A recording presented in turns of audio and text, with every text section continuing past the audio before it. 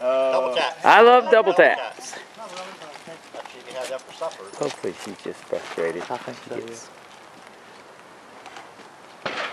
One good I run. love double be- taps. Stand by.